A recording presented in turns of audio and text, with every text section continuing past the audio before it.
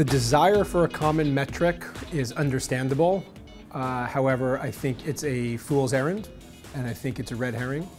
And I think people need to accept that the world of media and advertising is a lot more complex than it used to be.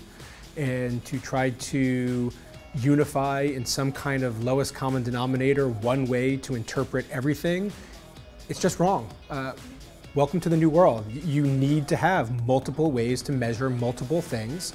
Uh, good data science will then find patterns, find ways to connect the dots.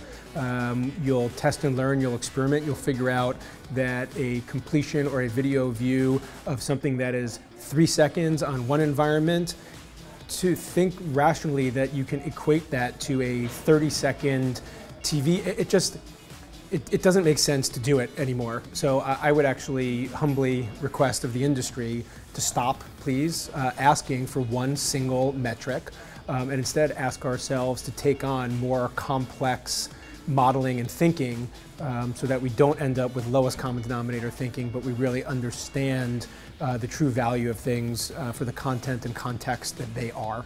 The convergence with TV and digital, um, it's obviously a real thing. Uh, I've been at these conferences now for many, many years, and inevitably uh, we ask, what is TV? Is TV the screen? Is TV the content?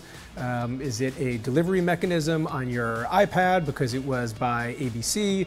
And you know, kind of like uh, measurement, there, there is no one single answer. We, we don't have to get to one single answer. The answer is ultimately it means different things to different people, fine. So what I think is next is an acceptance of that fact, and I'll use the, uh, the metaphor of matched luggage. Beautiful Louis Vuitton matched luggage set all looks the same.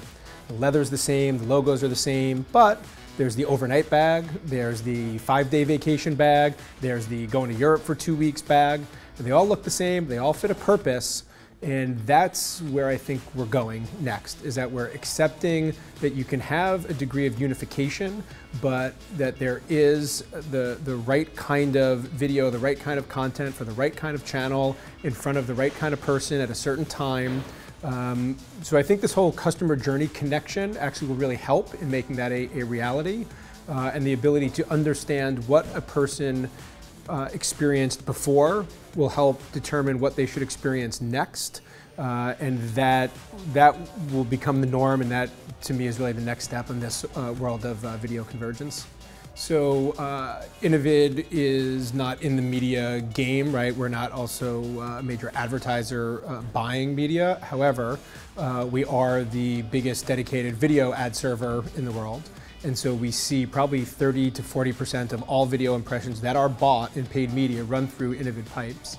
So I can tell you that uh, the OTT environments are absolutely hands down where we're seeing the highest growth, uh, where we're seeing the most education uh, necessary, where we're seeing a lot of experimentation.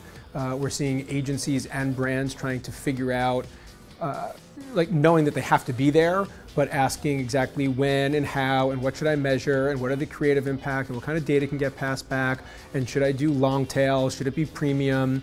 Uh, so to, to us, we're seeing that really emerge as the place that is the new breeding ground, if you will, for, um, for video buying and, and learning. And it's one of the reasons why Innovid has invested a lot into to become an OTT leader.